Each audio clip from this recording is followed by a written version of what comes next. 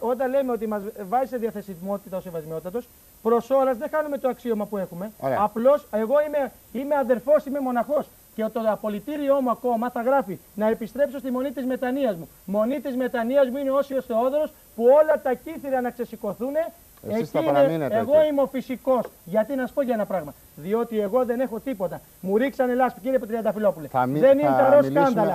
Είναι το παγκάρι της Παναγίας. Αφήστε το, το παγκάρι της Παναγίας είναι το πρόβλημα. Μέσα σε Μερσεντέ και δεν θέλω να αναφέρω με την οικογένεια. Αποδείξεις; Εκάνατε στην ουσία με γνωστόν θεολόγο αυτή τη στιγμή. Με, θέλω με να αποδείξεις; Επιφυλάττομαι να αναφέρω το όνομά Με τον Κώστα το Καραγιάννη αγκαλίτσα στο Μιστράλ, το οποίο Μιστράλ είχατε επιδείξει ως άντρο της ακολασίας σας. Με τον Νικόλαο τον ξενοδοχείο πρώτης κατηγορίας στην Καστέλα.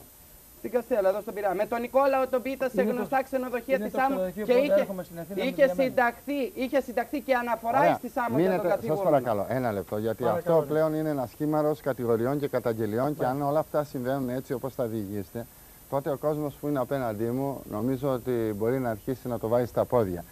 Ένα μικρό διαφημιστικό διάλειμμα και αμέσως μετά πάλι μαζί.